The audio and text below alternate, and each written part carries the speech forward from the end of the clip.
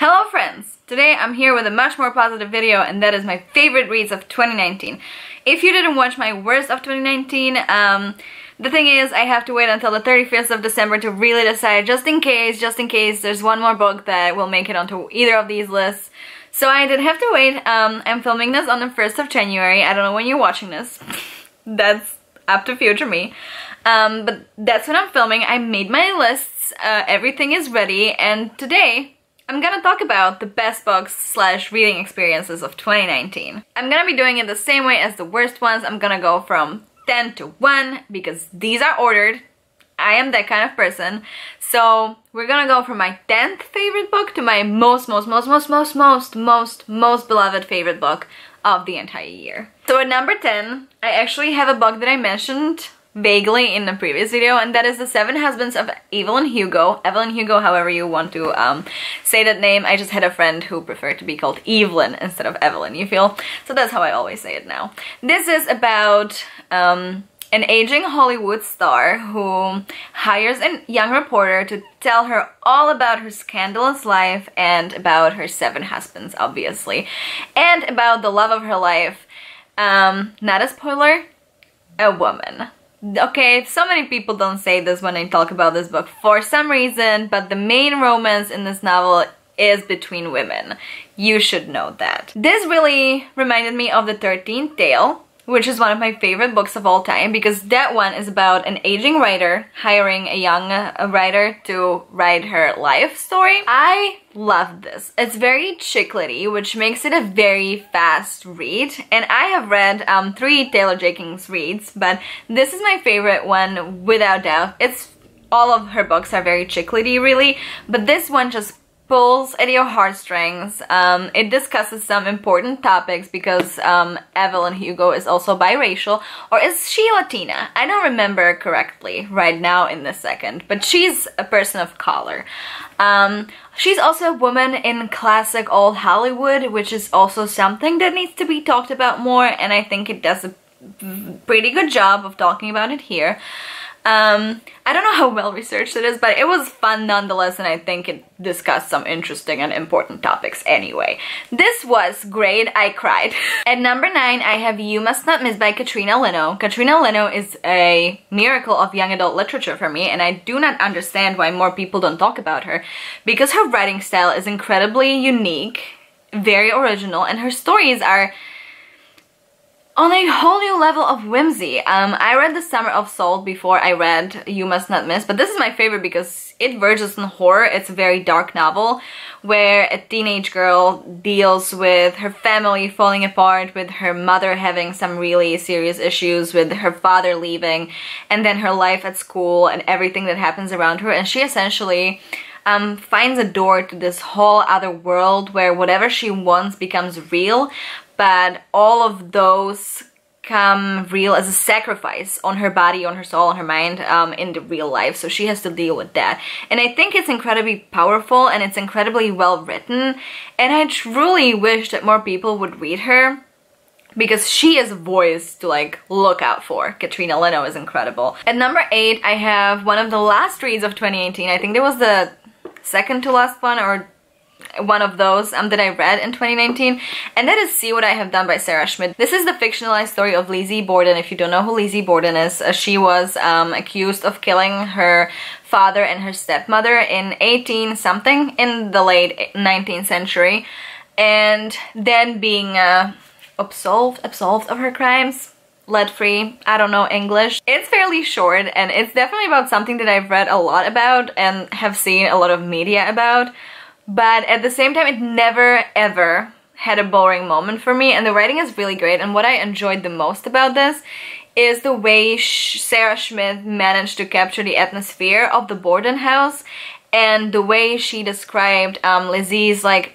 I think it was described as dissociation. It, it, it's never stated, but it just felt like incredible depersonalization and dissociation. I thought that was described perfectly. Dissociation is not fun, and a lot of what um, Lizzie is feeling or like the way she's seeing the world around her is very reminiscent of the way a person feels when they start to dissociate or when they're completely dissociated. So I enjoyed that. I really enjoyed the way it described everything and how distinct the characters were and just I enjoyed the writing in this a lot. At number seven, I have a book that's very surprising to me. At number seven, I have Middle Game by Seanan McGuire, who wrote Every Heart Doorway, which I fucking hated two years ago when I read it. I literally gave it one star and it was one of the worst books I read that year. I was going into this feeling kind of mm, hesitant, and the reading experience actually came out to be at three stars.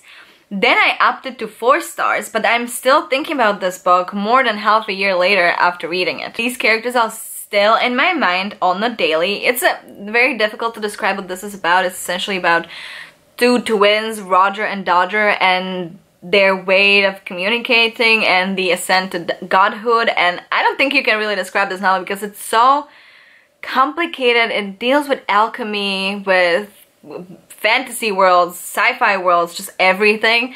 And it is one of those books that I finished and I was like, how did this person even keep all of that in their brain? I do not know, but I am impressed. and number six, I have Like a Love Story by Abdi Nazemian. I hope that's how you say that name. I try, you know, but I don't even speak English, so you know. This is set in 80s New York during the HIV crisis. Um, it talks about an Iranian boy. Is that how you pronounce it in English? Like I said, I don't, I can't even speak. Iranian, Iranian, I don't know.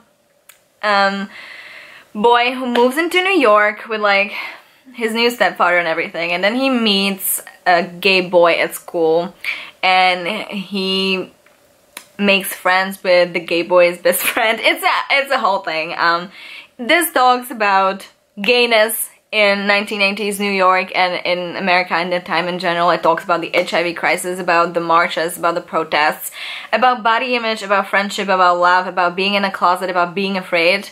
Um, it only captures a certain part of that community. It doesn't talk about trans men or trans women or anyone else. It mainly focuses on people of color slash gay men during the HIV crisis, which obviously is a little exclusive and it could have been more inclusive. But the way it's written was really powerful for me and it hit me in all the right spots and this is another book that made me bawl this year. It is a sad book but at the same time in some way it gave me a lot of hope. It gave me the feeling of community. It gave me the feeling of um, love, which I think is very important. So at the end of the day, there were more things that I enjoyed than things that I found were problematic. I really enjoyed the way it just portrayed these relationships because I feel oftentimes in YA um, the goal of a character is to become perfect or the character already is perfect and they have to deal with some other imperfect people. But this book has very imperfect and flawed characters who don't who don't magically become perfect and I actually enjoy that aspect. They are still flawed. They have gone gone through a lot but at the end of the day you cannot reach perfectness really so I enjoyed that about this novel as well. It gave me a lot of feelings that made my heart very sad and very happy at the same time is what I'm trying to say. At number 5, so we're halfway through, um, I have 10 minutes 38 seconds in This Strange World by Elif Shafak. This was um, shortlisted I think for the Man Booker this year and that was really the reason I read it. This is about a dying prostitute in the streets of Istanbul as she dies and remembers her entire life. This is one of those books that like really take you on a journey, take you through an entire life, take you through relationships, through feelings, through associations that you pick up on as you live. Um, it just tells you a story. This felt like an adult fairy tale almost. And what I really loved about this is that it changes tones seam seamlessly. Like the first half of the novel is something completely else than the this bit and then this bit is completely different than the rest of the novel. It goes from a really dark tone to a comedy and from a comedy to like this really spiritual, like beyond this world kind of moment. And I love that. The first thing was, the first part was really magical. Then the comedy actually worked for me. I laughed at this book. And then towards the end, I actually shed a tear again. I just had to stop for a second and really think about um, people's loyalty and how much of everything just goes from people loving one another. You know, it was just one of those moments and then the spiritual ending was just perfect for me. So I loved this one a lot. At number four, I have Never Let Me Go by Kazuo Ishiguro. Kazuo Ishiguro is someone I have been eyeing for years. Then I got intimidated when he won the Nobel Prize. And then this year I finally picked this one up and this was an incredible reading experience for me. I absolutely adored this. I think I read most of it in one afternoon. This is about um, three friends who all go to the same school there's a sci-fi twist to this, slash it's very speculative fiction that talks about society and how everything works and how it shouldn't and how it should, you know, it's very speculative. I don't want to give away the plot twist because I think you should figure it out on your own, it's part of the reading experience. I knew what it was because I had seen the movie, but if you don't know and you figure it out like somewhere here, you're like probably blown by that. Um, so I don't want to dropped it. But it's incredible. I think Kazuo Ishiguro has an incredible way of just inserting himself into any character that he wants and truly understanding that character and writing from their point of view perfectly. He just changes tone and style and everything. It's really astounding to me and he's this is like it's only at like number four I think but he is actually my new favorite author I think I only read another book by him the Remains of the Day, but I also loved that one and I cannot wait to read more from him.